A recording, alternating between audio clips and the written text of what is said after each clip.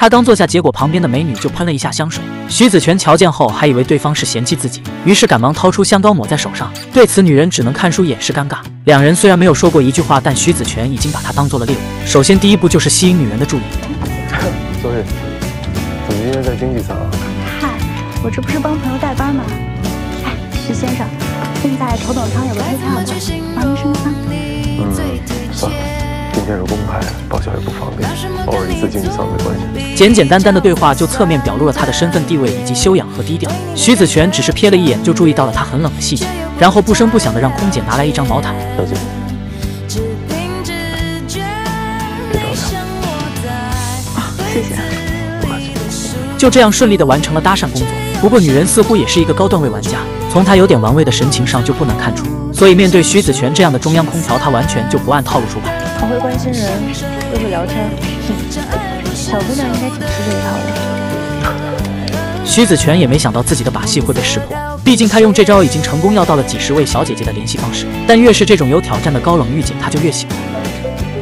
徐子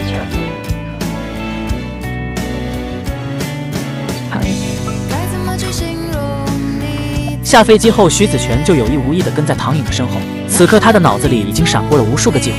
好巧不巧，这时唐颖的手机没电了。如此大好的机会摆在徐子泉的眼前，他甚至都有点不敢相信。不过机不可失，失不再来，他还是懂的。下一秒，赶紧递上充电宝，然后果断转头潇洒离去。这招欲擒故纵，直接把唐颖给整不会了。至于两人还能不能再见面，徐子泉不在乎，因为他要的就是这种感觉。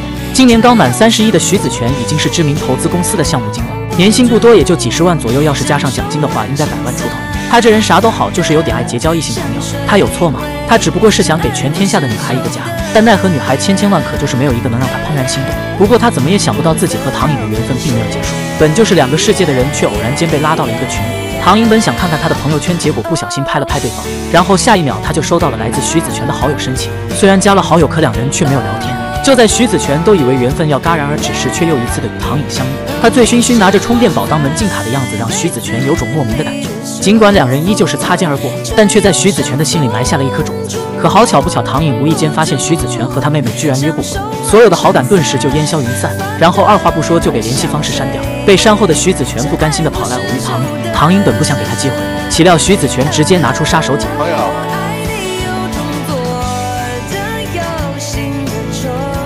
要不还是一起吃一个？吃饭不是徐子泉的目的，他的目的在于饭后的买单。我不用你请。谁说要请你？一次性付款方便。来，你装花二十六块五就行。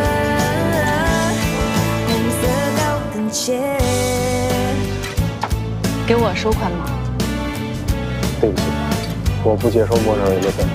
海王的套路真是让人防不胜防。到这一步，唐颖多多少少已经被拿捏。唐颖明明知道这是来自徐子泉的套路，可她就是愿意上当，因为女人天生就是只相信多巴胺的生物，特别是徐子泉那种放荡不羁的斯文败类，简直让他欲罢不能。广泛撒网，定期淘汰。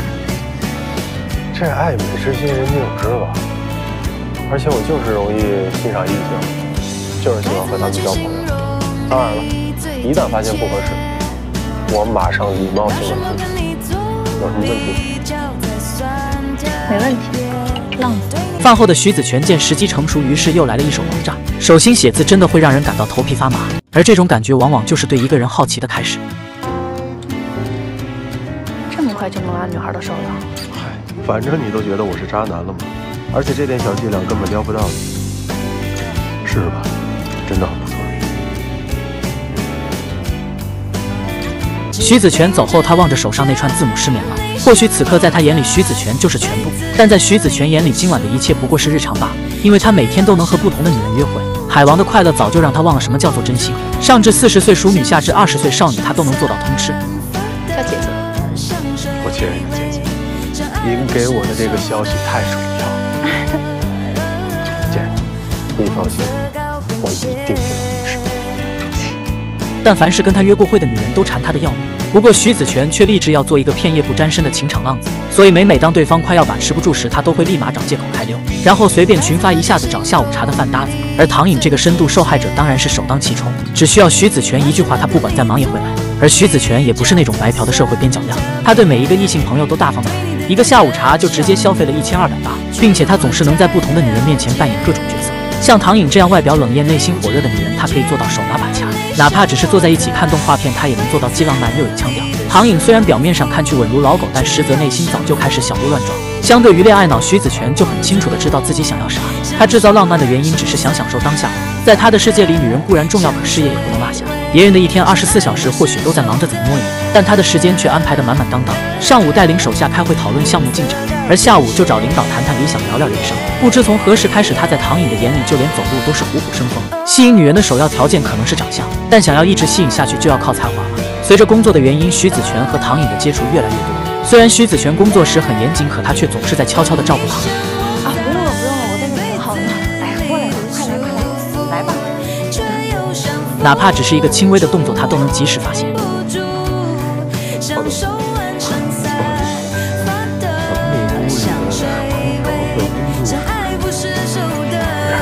到热水时，甚至还会贴心的套上防烫圈。所谓的细节决定成败，被他玩得神乎其乎。在这一刻，唐颖算是彻底被他征服。从那天以后，他就越来越在乎和徐子泉的每一次约会。本想着借着喝酒的机会把自己灌醉，生米煮成熟饭，但岂料徐子泉竟然喝不过他。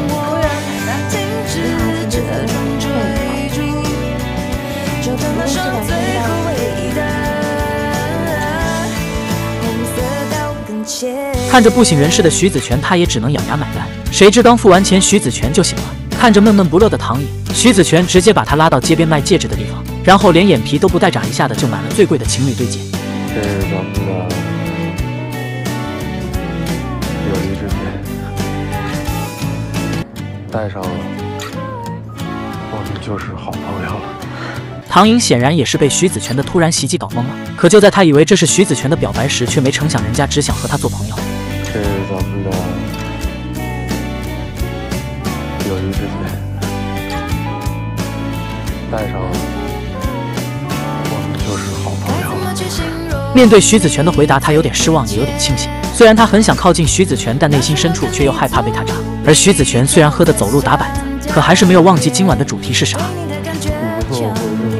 唐颖尽管已经提前做好了准备，但却依旧抵抗不了他的诱惑，鬼使神差的就跟着他回到了家里。岂料刚一到家，徐子泉就昏睡了过去。醉酒后的男人，甭管有多猛都没用。唐颖见状，只能倒了杯热水后失望离去。见他要走，徐子泉也不知道哪来的力气，居然挣扎着爬了起来，随后果断把唐颖壁咚在墙上。唇与唇之间的距离也就十公分不到。徐子泉从鼻孔里呼出的那股热浪，让他瞬间燥热难耐。好在关键时刻，他刹住了即将上高速的汽车。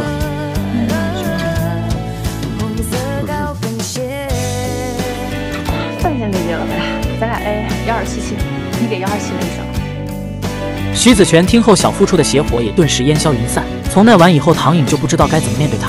说是朋友吧，两人的关系又很暧昧；可说是情人吧，人家徐子泉的态度又模棱两可。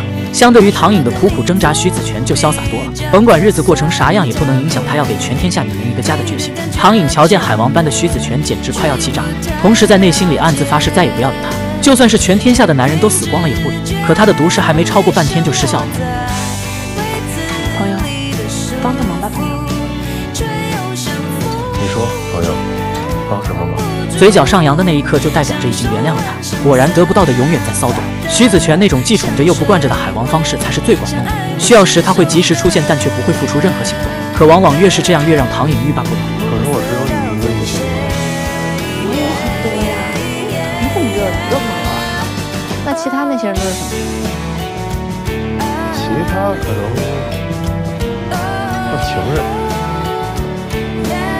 工作时还好说，只要忙起来，连亲爸妈也顾不上想。但只要脑子一空闲下来，就会忍不住想徐子权。这家伙就跟施了魔法一样，不管何时何地，唐颖一发消息，他几乎能秒回，而且还能从唐颖的只言片语中看出他的寂寞空虚。然后就在他洗个澡的功夫，就跑来楼下等着。我在你楼下。这操作，四十岁以下的女人谁能不迷惑？唐颖的第一反应不是回消息，而是整理衣服和涂口红。接着火急火燎地跑下楼见情郎。或许别的男人在这种情况下肯定是带奶茶或者烧烤，但徐子泉却提了一袋子猫粮。对我。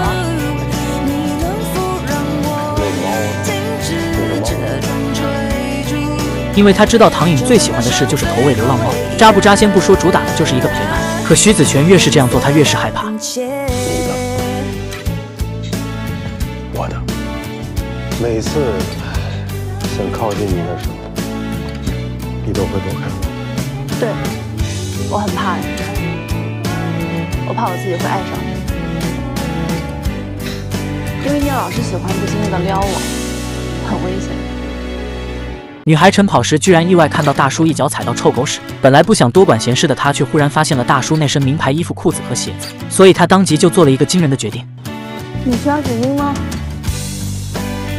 大叔看着她那双透着大学生般清澈的眼睛，顿时就被吸引住了。如果换做别的女孩，遇到狗屎这种东西都会避之不及。可林心姿不仅没有嫌弃，甚至还安慰起了对方。踩狗屎相当于走好运了吗？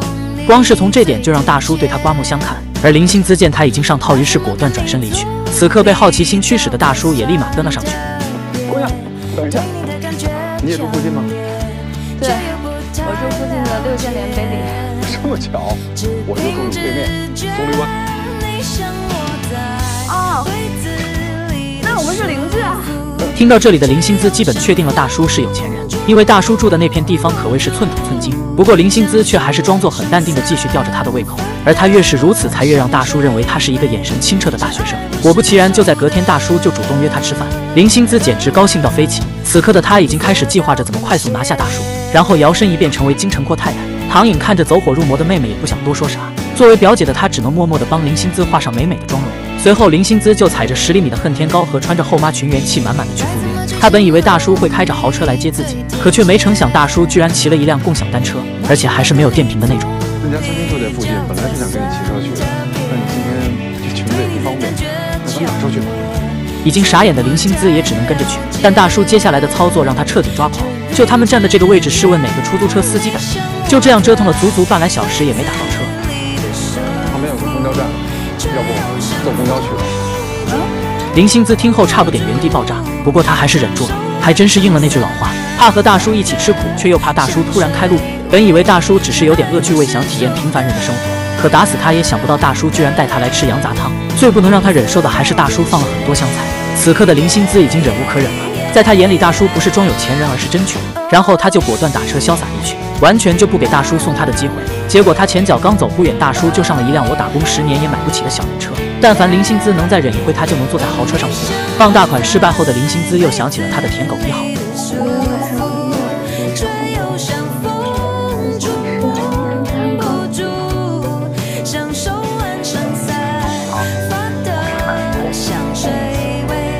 看来这辈子也就只有坐自行车的命了。徐家博这小子就是活脱脱的大冤种。下着瓢盆大雨的天气，他从早上八点一直等到下午四点，打了足足三百二十七个电话，手机都差点打关机了，也没能叫醒一个装睡的女人。唯独只有逛商场时，林心姿才会想到她这个免费劳动力。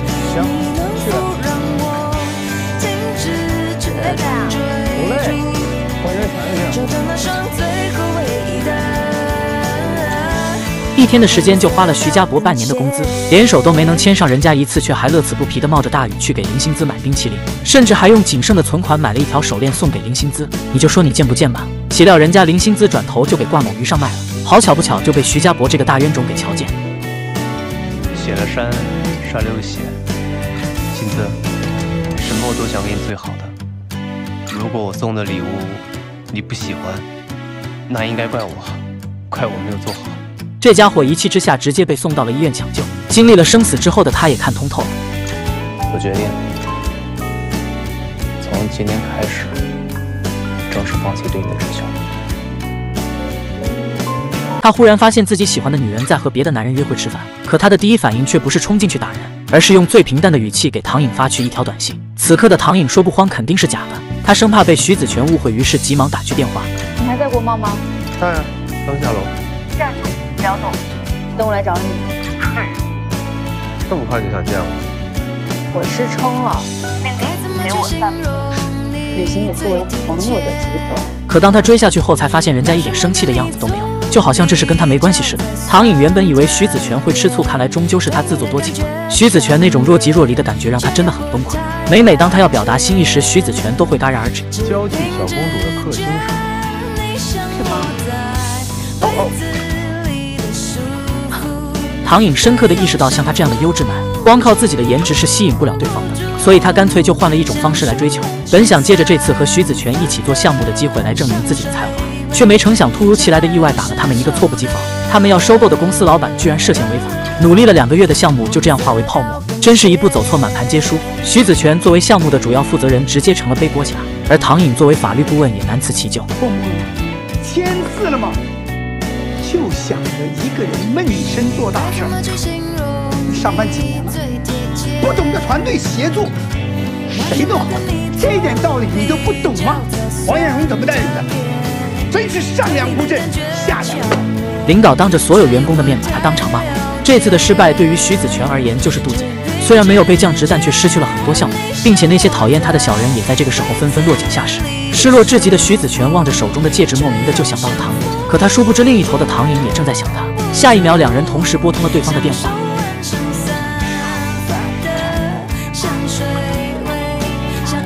这该死的默契让两人差点错过，还好唐颖锲而不舍的又打了过来。此刻的两人都是天涯沦落人，而往往越是这种时候，越能发生灵魂的碰撞。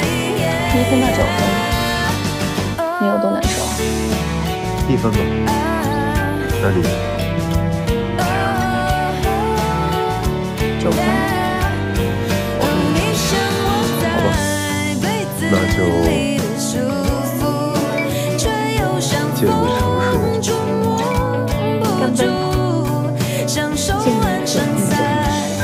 他们在只言片语中宽慰着彼此。自从有了那晚的谈心后，唐颖更加不能控制对徐子泉的爱。不过这一切徐子泉都不知道，因为像他这样经常行走在聚光灯下的社会精英，随时都能调整心态。所以当唐颖骑着共享单车，手捧野花，准备去跟他告白时，看到的却是徐子泉被一群女人围着送花。这打击对唐颖可不是一般的大。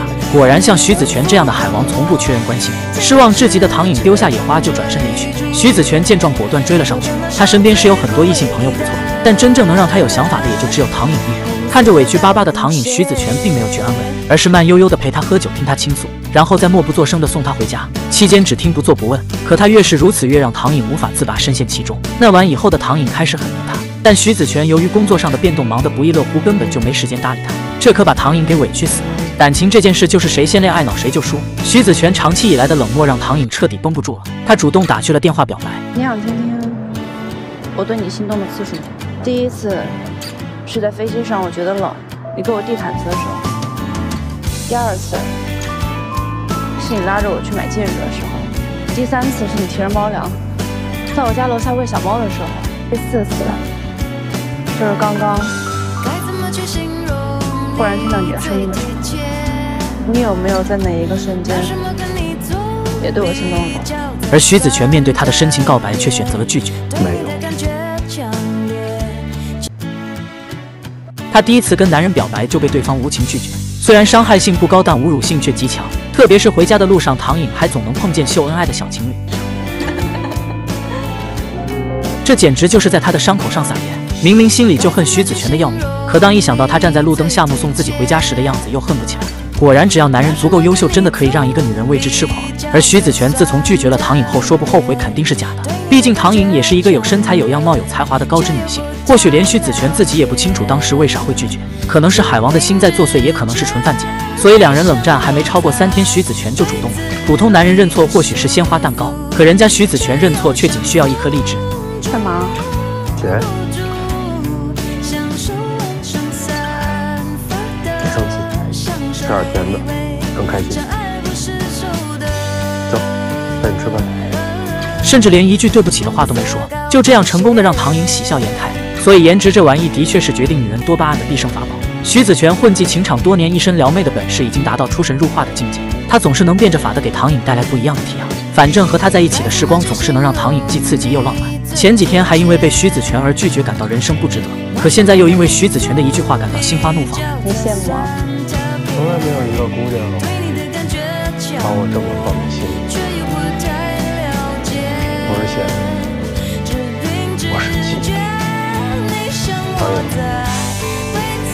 其实你想找的根本不是高不高的人，你想等的只是我的棋逢对手。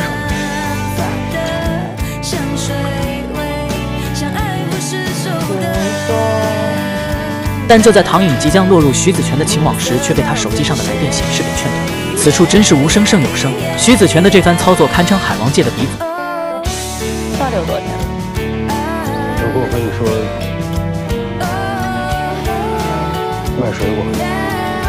你信吗？唐颖听到他如此荒谬的解释，也是气得不行。他是恋爱脑没错，但也不至于傻到这种程度吧？徐子泉还想狡辩，可唐颖却不给他机会。如果你想要当一个合格的鱼塘子，起码你鱼塘里每一条鱼叫什么名字，得搞搞清楚吧。那晚以后，唐颖就再也没有搭理过徐子泉。他本以为自己的生活会就此变得索然无味，岂料月老竟然又给他安排了一个老马王子，骑个共享单车不小心撞了人家的梅赛德斯。可豪车的主人非但不让唐颖赔钱，甚至还主动送他去上班。事后，唐颖一打听才得知，男人居然是他的合作对象马总。马总不仅加了他的微信，居然还要约他去吃饭。虽然马总很有钱，但唐颖却嫌弃他长得显老。可是为了完成业绩，他又不得不主动迎合。反正他就是典型的少女不知大叔好错，把海王当成宝。而另一头的海王徐子泉也过得不是很如意。自从上次投资失败后，他就遇到了大挫折，被公司下派到了一个偏僻的工业区负责业务，接触的商业对象也从上市公司老板变成了一群糙汉子。最让他不能接受的还是这群老爷们非要带着他去泡澡。就这样坦诚相见，他真的既尴尬又害羞。这样嘈杂的环境让他不由得很想唐颖，所以他又舔着个脸又去找人家了。可没成想，唐颖一见面就拉着他去帮自己选衣服。为了哪里？当然是为了非常重要的人。这句话的含义让徐子泉心乱如麻，特别是当他看到唐颖奔向马总那一刻，他才承认自己算了。然后自己也果断去对面的服装店买了一套得体的西装，接着又躲在一旁悄咪咪的看着唐颖跟马总相谈甚欢。下一秒，他直接化身醋溜白菜。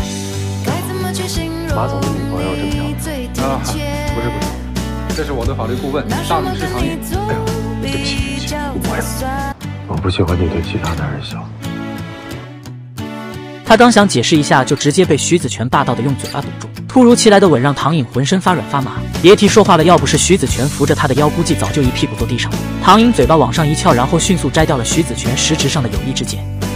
那这个你也不用带了。接着转头大步的往前走，因为他知道自己赌对了。从这一点就不难看出，徐子泉心里果然是有自己的。而他主动取下对方的友谊之戒，也代表着在这场感情的拉扯中，他占据了上风。不过他还是低估了徐子泉作为一个海王的能力。谁说我喜欢你了？那你不喜欢我，你为什么伤心？难道只是因为我跟其他男人笑？你为什么可以在所有人面前掩饰自己，唯独在我面前不说？是我不够你花心吗？你说的这是什么话呀？徐子泉自从那天给了他一个吻之后，就又消失不见了。所以两人看似是捅破了窗户纸，但又好像什么都没有发生过一样。徐子泉倒没啥特别的感受，每天除了工作外，还会时不时翻一翻池塘里的鱼。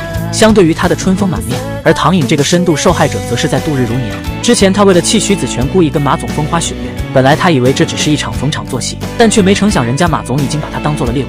实在是不好意思，我真不知道这酒这么贵，已经破费了。是，本来收藏也是想每天跟你一起喝的。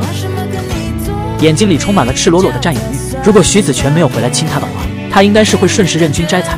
可现在徐子泉回来了，他不得不从马总的酒池抽身。虽然马总家产万贯，拥有超能力，但奈何唐颖就只吃徐子泉海王的那套。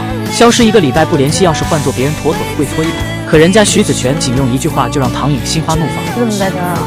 怕你把我忘了。那你还把我扔路边，消失了一个礼拜。我故意的，怕你。不仅原谅了徐子泉的不告而别，甚至还主动送上一个香吻。而徐子泉面对软糯可口的香吻，却并没有迷失放心，反而还顺势摘下了唐颖的友谊之戒，真是满满的好胜心。海王的心思果然是我辈庸脂俗男不能揣摩的。你先心动了，为这枚友谊之戒就不算数，我拿走。走了？哎，你就这么走了吗？这一顿操作猛如虎，定睛一看原地杵。反正唐颖算是被他折磨得死去活来。明明他心里就清楚徐子泉的套路，但偏偏又爱上他，这分明就是他的多巴胺在作祟。不过他也渐渐明白了徐子泉的意思，只要自己肯主动，对方就必定有回应。因为男人都是腼腆且狂野的生物，所以他特地在睡觉前定了一个凌晨三点半的闹钟，然后等时间一到就给徐子泉发消息说我想你。我也是，想你想睡不着。接着两人就又开始了互相拉扯，反正总的来说就是谁都不愿意先承认爱对方。徐子泉见时机成熟，便开始主动邀请唐颖来家里过夜。唐颖表面上说着不要，但背地里却悄悄地选了一件我最爱的黑丝小吊带，然后满眼是光的去见徐子泉。两人先是看了会蜡笔小新玩鸟，可就在徐子泉准备进入正题时，却被马总的电话打断。嗯，没关系，工作比较重要，咱们下回再吃也可以。虽然他是客户，但其实不一定都是公事。大概率不是。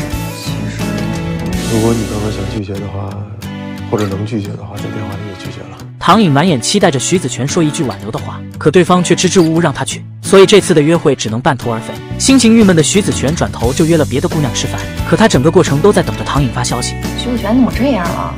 你这样一点都不酷，你知道吗？至于另一头的唐颖，结束了跟马总的酒局后，就立马跑去了徐子泉家门前。可好巧不巧，徐子泉也去了他家，所以两人又完美错过。还好徐子泉在手机监控上看到了唐颖，下一秒他直接翻了一个跟头，开心的像个眼神清澈的大学生。隔天一大早，唐颖就收到了来自徐子泉的折磨。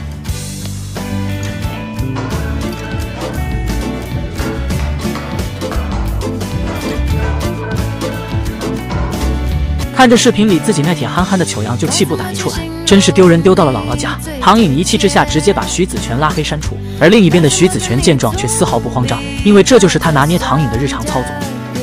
喂，别生气啊！我就是想表达一下，我看到你出现在我家门口，我很开心。啊，今儿那天我也在你家门口，当我敲了门之后，家里没人，我还以为……哎，你在哪儿？追过。熬了一宿了，等着嘞。工作处理完了吗？嗯。那这样，我在大堂等你，带你去个地方。挂断电话后，唐颖火急火燎的就跑下了楼。明明心里就特别想看到人家，却又要装作一副不在意的样子。一路上，他不停的追问徐子泉要带他去哪里，岂料徐子泉冷不丁的就拿出了一张房卡。开房吗？唐颖就这样半推半就的被带到了酒店。哎，我可告诉你啊，嗯，刑法第二百三十七条。以暴力手段或者其他方式强制猥亵他人或者侮辱妇女的，会处以五年以下有期徒刑。对此，徐子泉则是轻蔑的一笑，表示今天只睡宿，因为他压根就没想把唐颖怎么着，只是看他昨晚熬了一个通宵，所以才开个房让他补觉。当唐颖明白了他的意思后，失落的同时却又有点期盼。本来他已经做好了被啊啊的准备，但谁知徐子泉偏偏在这种时候还要拉扯一下。唐颖实在是受不了，索性就眼睛一闭睡了过去。徐子泉见此情形，也只好把他抱上床，然后小心翼翼地脱鞋盖被子，接着又悄咪咪地拉上窗帘。做完这一切后，才长舒一口气地躺在椅子上休息。唐颖这一觉就直接睡到了大晚上。看着宁愿躺在椅子上遭罪，也不愿躺在床上同睡的徐子泉，他忽然觉得有点可爱。本想拍点他的帅照，结果才发现人家在装睡。走，吃饭去。本来徐子泉是准备在晚饭时好好跟他浪漫一下的，岂料却在半路碰到了一个不速之客。女人是一个小有名气的网红，他和唐颖也只能算点头之交。当女人瞧见徐子泉那海王的脸庞，顿时被迷得五迷三道，厚着脸皮就要跟着他们去吃饭。我批准你跟我们一起吃饭。吃饭的过程中，女人也不消停，各种搔首弄姿的自拍，甚至还让徐子泉帮个忙选一张发朋友圈。而徐子泉也是有意要气唐颖。感谢你，因为这一张呢，你的角度并没有选得很好，所以你的下颌线没有展现出来。对，其实你的下颌线。看着两人嬉皮笑脸，唐颖差不点气到更年期提前。最让他生气的还是女网红居然要加徐子泉的微信。我能不能加你微信啊？你把我微信推给他呀。他对，反正这顿饭吃的唐颖算是火冒三丈高，可他的一味忍让却让女网红更加过分。拙劣的演技是个人都能看懂是咋回事，但偏偏徐子泉这家伙就是要装老实人。失望至极的唐颖回家后就猛灌了二两烧酒，可这一喝酒脑子里就会出现徐子泉撩她的画面，想着想着就忽然想到了徐子泉跟女网红，一想到自己心爱的男人被别的女人啊，他就难受的一批。就在他嚎啕大哭时，徐子泉终于打来了电话，唐颖强行平复了心情，接通电话，喂，开门。怎么嚎了这么半天？你们上床了吗？看着他那副委屈巴巴的样子，徐子泉赶紧上前安慰。不过经此一事后的唐颖明显就不买账了，他实在是受不了徐子泉这种极限拉扯，再这样下去他肯定要疯掉。所以今天晚上必须要他给自己一个准确的答复。我们还是老老实实的把这个友谊之戒带回去吧。和你这种高端玩家在一起，我真的怎么死的我自己都都不知道。以前是友谊之戒，以后。请李先生。而接下来的画面就有点少儿不宜了，我替你们看了。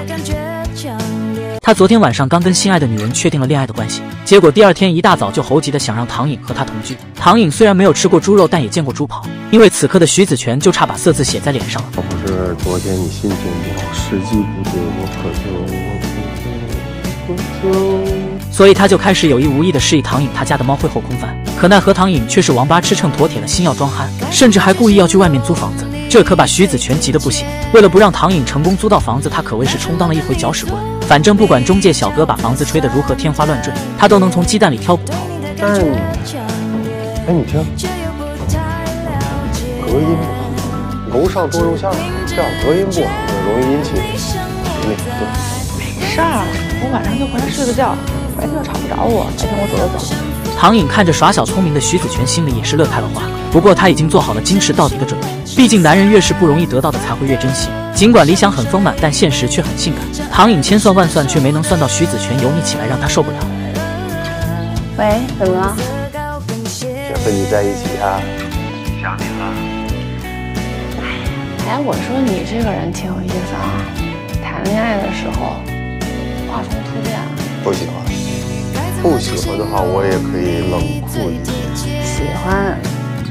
啊，那我来啦，我来接你啦。所以最终还是乖乖的跟着他回了家。羊入虎口后，徐子泉高兴到飞起，做个饭都要跟唐颖亲亲抱抱举高高。就这两下子，看得我差点犯了高血压。此刻的徐子泉满脑子都是恩啊恩呐的想法，可就在他准备持枪上岗时，唐颖的电话却响了起来。这种强行打断的感觉让他既无奈又着急。反正自从两人确定了关系后，徐子泉就一改往日海王的形象，再也没了那种要给全天下女人一个家的理想。如今的他穿上了围巾，左手过右手铲，俨然有了成为家庭主妇的趋势。每天除了上班下班做饭吃饭外，他最期待的就是跟唐颖恩啊恩呐。现在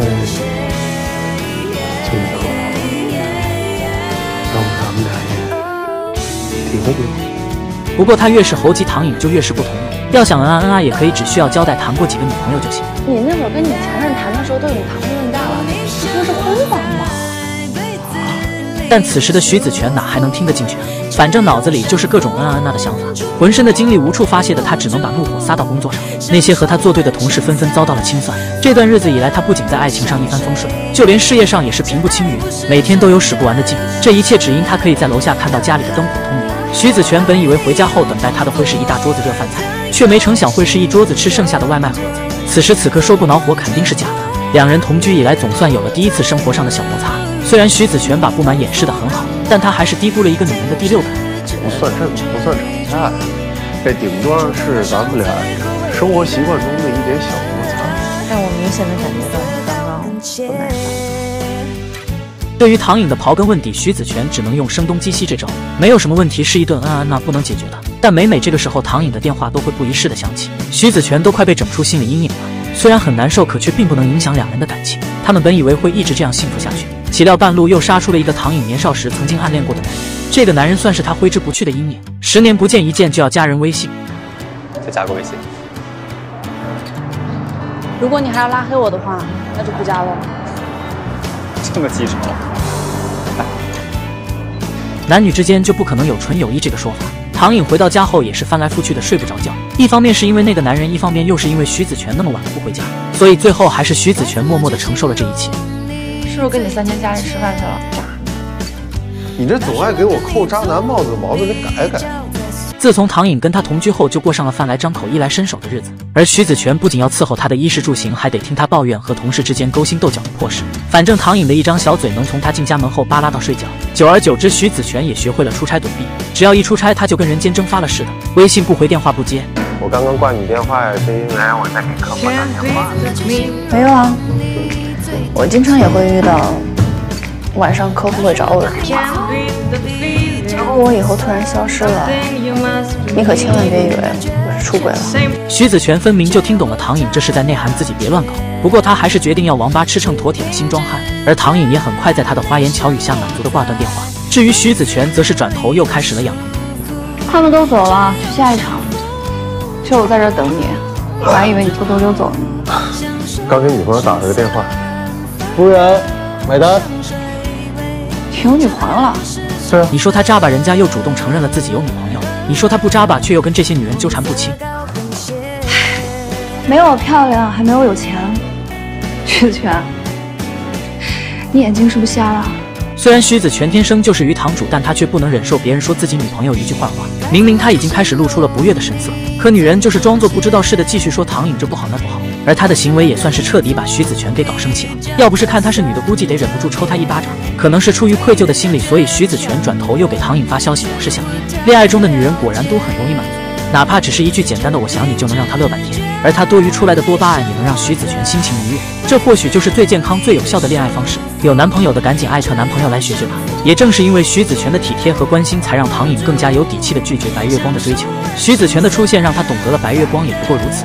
嗯，我男朋友还在楼上等我，我要回去吃饭了。可他的坚定不移还没超过三秒钟，就在家门前撞见了徐子泉当街跟别的女人搂搂抱抱。行，那你抱我一下，抱我一下我就会上海。抱这一下有什么意义呢？那你说他会不会抱啊？渣男才抱。好，好。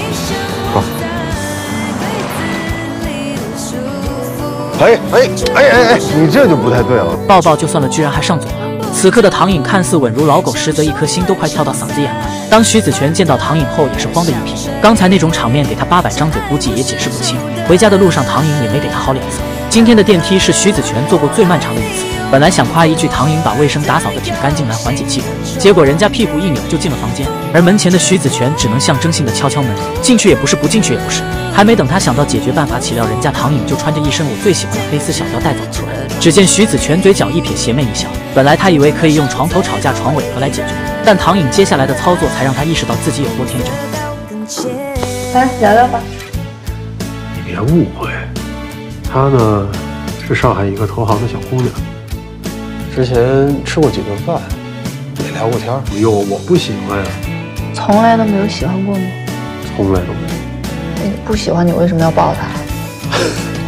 不解释还好，越解释越乱。他也不想想生气中的女人能听进去吗？反正他的小嘴巴拉巴拉了老半天，可人家唐颖听到的却是你不爱我了。此刻的徐子泉只想高喊一句：家人们谁懂啊？不过他最终还是领悟到了唐颖的意思。总的来说，就是该把微信里的那些鱼儿们删掉了。行，来继续。哎，这水蜜桃你还留着呢？你都删了吗？好，我马上删。首先检查就是你这里面所有水果，水果名全部删了。他总是喜欢在大庭广众之下让女朋友亲他的脸，亲完后还要故作矜持的说要低调。然而事实却是每天都要缠着人家唐颖穿情侣装，从周一到周五变着法的穿，反正就是各种秀，生怕别人不知道他有女朋友似的。两人只要是一见面，必定就是手牵手。如果遇到熟人，徐子泉还会让他留下叫人。嫂子好，干嘛呀？叫着叫着还行礼，我这。行了，先回去吧。行，好了，再见。哎，嫂子再见。哎呦。而徐子泉的种种迷之操作，在唐颖看来都是爱的表现。虽然徐子泉长着一张让他不放心的脸，但干的事还是让他蛮放心的。生活再苦再累的时候，身边也没个人，现在都有你陪着我呀，就好像嘴巴里含了一颗糖。我现在嘴里也含着一块糖。所以，哪怕徐子泉只带他吃一碗十三块五的馄饨，他也能高兴到飞起。不过，随着他们的事业越来越好，两人在一起打闹的时间就越来越少了。长此以往，感情或多或少都会受到影响。而偏偏在这个时候，唐颖的白月光成格又来骚扰他了。这家伙不仅年纪挺大，脸皮也特厚，明明就知道人家唐颖是名花有主，却还要来挖墙脚。我已经在你小区楼下了。十年前，你也曾在我们家楼下这么堵过我，这感觉是不是有点熟悉啊？唐颖面对他的死缠烂打，也准备下楼去摊牌。可岂料这时徐子泉居然回家了。思来想去，唐颖还是主动坦白了。乘客约我吃晚饭，他不想去，他说问我一些法律的问题，都已经到楼下了。我这会儿觉得不去是不是也不合适啊？哎，但我真的很烦很烦很烦很烦，我一点都不想去。水蜜桃、睡裤、去见他。做了那么多年海王的徐子泉还是头一次吃醋，看着自己的女人穿睡衣去见别的男人，心里肯定是不爽的。不过徐子泉作为高端玩家，也有高端玩家的风度，他直接就让唐颖把成哥给叫到家里来见面。成哥这家伙跟徐子泉一比就是小巫见大巫，可能是为了打击徐子泉，他就开始显摆自己的实力。言外之意就是在说徐子泉这种小年轻住这么好的房子肯定是租的。不过话说回来，这北京的房价的确是太贵了，这升值空间吧，还真比不了广东。早些年我买了另外两套，嘿，到现在你知道涨多少吗？都快十几万一平了。徐子泉看着对方一本正经的吹牛皮，差点忍不住笑出声。忍无可忍的他，也只能小小的露一手。但是当初呢，我手上有一个项目，今年翻了十几倍。如果当时我不买这房子，我直接做这项目，对吧？我现在能买好几套了，跟您似的，是吧？陈哥听后尴尬的差点用脚拇指把鞋抠出一个洞，被打脸后只能灰溜溜的离去。临走时不死心的他居然还想继续忽悠唐颖。他先是各种诋毁徐子泉，说他人长得帅又有钱，肯定很花心。像你这样的普通姑娘跟他在一起就是高攀，等到人家玩腻了，迟早会把你踹了。一路上小嘴巴拉巴拉个不停，忍无可忍的唐颖当即就怒上心头。男人都经不住诱惑，女人也一样啊。现在对于我来说，徐子泉就比你对我有诱惑的多。我想到他我都开心。我走路连蹦带跳的，我吃饭炫两碗，我上二十层楼梯我都不带喘的。没准哪一天我的新鲜感先散了，我一脚把他踹了呢。数落完后，唐颖转头就走。虽然成哥说的那些话他并没有放在心上，但随着和徐子泉在一起的时间长了以后，他也发现了很多问题。在某些事情上，他总是会很敷衍，每天都有接不完的电话，开不完的会议。最主要的还是上厕所后总是不擦干净，这是我深有体会。本来是想着出去露营促进一下感情，结果徐子泉这家伙除了长得帅外，干啥事都不靠谱，就连烤串都烤不熟。而徐子泉特别感兴趣的事情，唐颖却会敷衍了事。久而久之，两人又积攒了许多矛盾。而最让唐颖崩溃的，还是徐子泉鱼塘里的金鱼们。你穿西装好好看，改天再穿给我看好不好？上次他删了一个通宵，没想到居然还有漏网之鱼，而这条语音俨然就成了他们之间的导火索，间接的把彼此之间的矛盾和缺点无限放大。唐颖怪他的鱼塘太深，总是把自己排除在外；徐子泉则是不理解他的小性子，看成了无理取闹。我本来是好意，对吧？想着说大家都放假了，我带他出去玩玩。结果呢，人家根本不领情，这关注点全在什么搭帐篷啊、烧烤啊，还嫌我不容易。两人反正就是婆说婆有理，公说公有理，各自都持有不同的想法和看法。那天以后，两人就开始了默契的冷战，既不吵架又不和好，唯一的交流方式就只剩在冰箱上留小纸条，一天留一张。两人几乎快有半个月没有聊过天了。不过在这场冷战中，徐子泉最终还是主动表谢投降了。今晚找机会聊一下，早点回家可以吗？不得不说，在这方面两人还是挺有默契的。徐子泉一回家就看到唐颖光溜溜的躺在浴缸里，就这鲜活的画面感，直接就让徐子泉欲罢不能。徐子泉，吻我。阴阳交合才是促进男女朋友感情最好的良药。捅破了冷战的窗户之后，他们也开始了谈心。唐颖把自己心中所有的不满和委屈都讲了。我很爱你，我很珍惜，所以从今以后，你的生命里开心的、不开心的事情，能分享给我吗？这问题只要说开了就不是问题。那晚以后，两人的感情更上一层楼，同时他们也能大方的接受彼此的缺点。而徐子泉也开始变得越来越幼稚，他越是这样，唐颖才越有底气。所以当他再次面对徐子泉那些追求者时，不会选择逃避，而是正面硬刚回去。你知道抢的东西更刺激，打着爱情的名义挽救自己的胜负，我真不知道你到底是爱自己啊，还是爱他呀？他的强势解决了徐子泉身边所有的花花草草。随着时间的推移，两人磨合的越来越好。徐子泉不管再忙，只要他先回家，都会煮一碗唐颖爱吃的面条。你要觉得男朋友好，你就对你现男友好一点啊！外面那些莺莺燕燕可是惦记着他呢。以前的他们基本都是回家后倒头就睡，可现在的他们却会先诉说对方工作上的趣事和烦恼。生活就好像是调味剂，是咸还是淡，全看他们怎么中和。家庭和睦的同时，也让唐颖和徐子泉的事业一帆风顺。这段时间，徐子泉虽然没有做成什么大项目。但他却找到了自己真正想要的东西，并且也在为之努力奋斗着。而唐颖也迎来了人生中的第一场官司。从严格意义上来讲，此刻的他才算是成为了一个合格的律师。努力了那么久，他等的就是这一刻。然而，他高强度工作换来的成功，也让自己付出了代价。直到生病了，他才懂了。他这一病，也让徐子泉放下了手头所有的工作，开始全心全意的照顾他。在他的细心照料下，唐颖很快就恢复了健康。康复后的他，立马就受到了领导的重用。不过这一次，他直接选择了拒绝。我不想再过以前那种。被工作压得喘不过气的日子，我想慢下来。希望你能理解我，周丽。节奏慢下来后，他果然比以前更轻松快乐。要说变化最大的还是徐子泉，他从当初的一个情场浪子、不婚主义者，为了唐颖一步一步的改变着自己的习惯和性格。要说这段感情谁要是付出的更多，那肯定是徐子泉。至于谁更爱的多，应该是半斤对八两。嫁给我了。